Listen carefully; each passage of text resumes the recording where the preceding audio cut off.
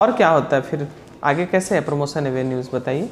Sir उसके एक PO को पीओ पे ज्वाइन वो स्केल वन होता है पीओ को स्केल वन बोलते हैं। दो साल बाद सर एक कंफर्मेशन एग्ज़ाम होता है क्योंकि दो साल का प्रोबेशन पीरियड होता है। किस बैंक में है वो? अ, वो सर बैंक ऑफ़ इंडिया में। अच्छा ठीक है। अ, दो साल के बाद प्रोबेशन का एग्ज़ाम फाइनल एग्ज़ाम होता है। एंड कुछ शायद सर्टेन परसेंटेज के बाद स्केल टू हो जाते हैं ठीक है। दो साल में स्केल टू हुए फिर स्केल थ्री कब होंगे? उसके तीन या चार साल बाद से। तो आप कह रहे हैं प्रमोशन एवेन्यूज अच्छे हैं तो बताइए तो सही आप गेस कर रहे हैं। सर ऐसा कितने साल नहीं देखिए एकदम बिल्कुल क्लियर कट है। तीन साल के बाद स्केल टू तीन साल के बाद स्केल थ्री चार साल के बाद स्केल फोर दो साल के बाद स्केल फाइव अगर कंटिन्यू आपका मिलता जा रहा है तो। ऐसा है। Okay sir. कितने स्केल तक होते हैं बैंक में? सेवन सर एट एट उसके बाद? उसके बाद सर एमडी बन सकते हैं।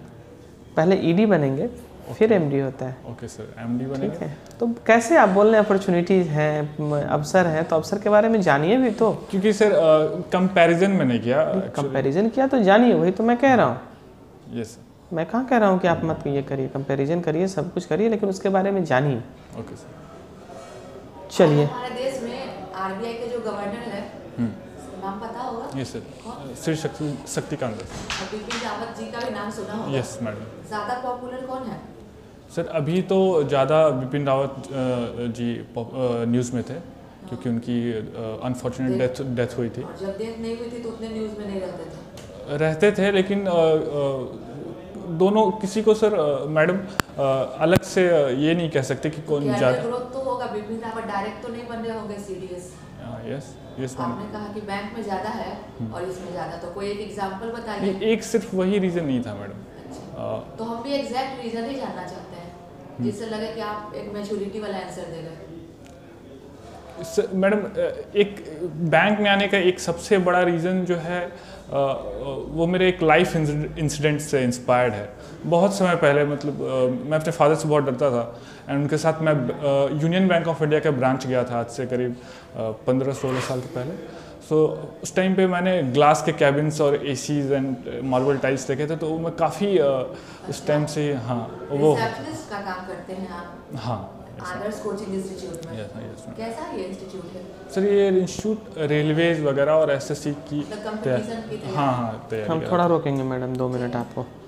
आपने एक बीकॉम किया है नहीं? यस पढ़ा है सब्जेक्ट आपने अच्छे से? डिसेंट सर अभी मैंने काफ़ी रिसेंट क्या क्या पढ़ा है आपने?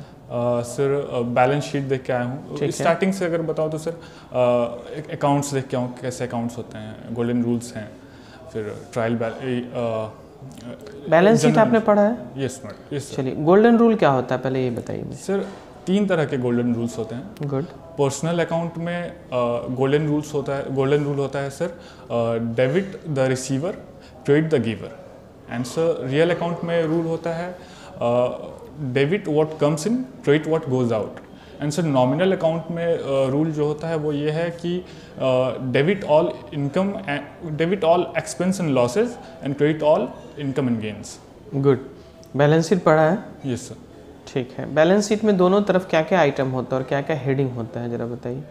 सर लाइबिलिटी साइड में सबसे ऊपर किधर होता है लाइबिलिटी पूरा पश्चिम डेबिट उत्तर डेबिट साइड में होता है डेबिट किधर होता है? बाईं तरफ़? दाईं तरफ़ ही होगा ना? ठीक है लेफ़्ट साइड में. फिर? लाइबिलिटी साइड में सर इसके दो अ, सर मार्शलिंग वे हैं इसके।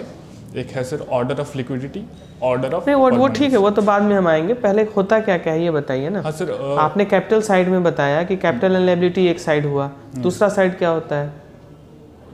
एसेट्स होता है एसेट एंड प्रॉपर्टीज़ एसेट्स ऐसे बताइए ठीक है। कैपिटल साइड में क्या क्या होता है? कैपिटल साइड में सर कैपिटल पहला item कौन सा ऑनर्स फंड होता है सर ऑनर्स फंड यानी कैपिटल कैपिटल फिर क्या होता है? उसमें सर इक्विटीज होते हैं प्रेफरेंस इक्विटीज प्रेफरेंस शेयर होते हैं। ठीक है और? एंड सर उसमें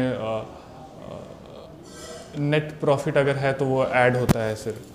कैपिटल के बाद पहले नेट प्रॉफिट ही होता है उसके बाद जाकर के आपका प्रेफरेंशियल शेयर वगैरह होता है। ओके तो आपने बनाया है ना? वही मैं जानना चाह रहा हूँ थोड़ा ऑर्डर में मतलब बताइए कि क्या क्या कॉमन जो होते हैं चीज़ होती है।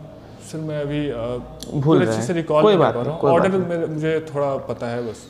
चलिए कोई बात नहीं। डेप्रिसिएशन जानते हैं? यस कितना मेथड होता है डेप्रिसिएशन कैलकुलेट करने सर ऐसे तो डेप्रिशिएशन कैलकुलेट करने के 12 12 के आसपास मेथड दस एग्जैक्ट नहीं पता है दो जनरल मेथड है तो आप ये जो आदर्श कोचिंग इंस्टीट्यूट में रिसेप्शन Yes, हाँ, का काम कर रहे yes, तो क्यों छोड़ रहा है?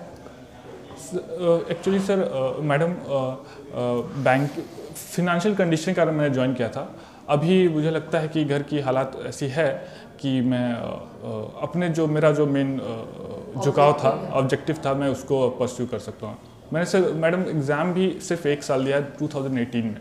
उसके बाद मैं सीधा 2021 में एग्ज़ाम दे रहा हूँ इस बार। अमरनाथ से कोई फ़ेमस स्पोर्ट्समैन या कोई भी व्यक्ति अमन नाम से है हमारे कंट्री में जो फ़ेमस हो।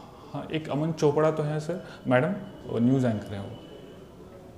कहाँ है आपका नेटिव प्लेस झारखंड। में कौन कौन इंडस्ट्री है झारखंड में? झारखंड में मैडम टाटा टाटा की इंडस्ट्री है Tata steel Tata power and SAIL की भी है बोकारो में।